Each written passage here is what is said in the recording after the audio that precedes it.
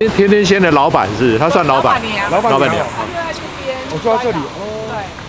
基隆市议员郑文婷指着这一条位于基隆市消防局与新二路停车场前的人行道，表示这里就是让孝山路知名排骨虾仁饭老板娘二次滑倒受伤的地方。这位伤者其实他已经是第二次在这个地方跌倒，他第一次是在消防局的门口这边摔倒，但是因为不是很严重，所以他也不以为意。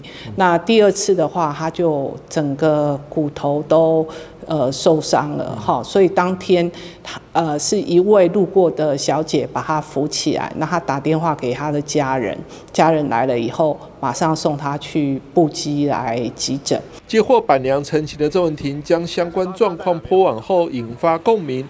多位民众纷纷留言，曾在同一个地点滑倒。基隆市议员曾怡芳也是受害者之一。因为接下来就是雨季了嘛，哈，那这几天也一直在下雨，那所以后来把这个情况抛上脸书，结果在我的脸书的留言部分，我们发现大概还有十位民众也都反映曾经在那个地方摔倒过，甚至连我们议会的议员。曾怡芳也在那个地方摔倒过。在我那一次跌倒之后，其实也是有蛮多人反映的。那直到呃军所议员，然后还有我们今天主持人我们文体一座开始发起这样子这个民众跌倒的事件。其实我认为，其实坡度啦，坡度我觉得是小，那问题就是在那个瓷砖。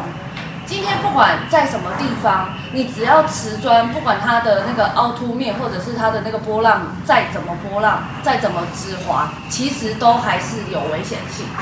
行经该处的民众也直说，这个路段的人行道下雨天容易湿滑，走起来的确有点怕怕的。像这边好像都都会滑，都会滑。对，他走路会怕怕的，对对对，所以走路要特别放慢。对，没错。我上次在那边有滑滑一跤，滑过，滑过一跤。哦，对，在前面的地方。对，在前面那个滑滑过一跤。所以这瓷砖下雨天都会特别。应该是会，这个最好是能换换换那个比较不滑。由于这一段人行道来往人潮众多，因此郑文婷特别召开协调会，邀集消防局、交通处及公务处等相关单位讨论如何进行改善。消防局代表表示，因为消防车进出关系，这一段人行道铺面需要使用具有承载相当重量的材质。交通处也表示，新二路停车场委外经营业者愿意负责施作停车场外的人行道部分。公处方面则建议使用压花地坪的工法即可克服。对此，郑文婷要求相关单位在十月三十号议会开议前达成共识，并在议会进行报告。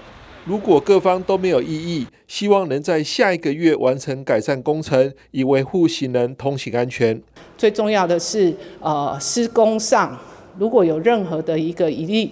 都可以向公务处来征询他们专业的一个意见。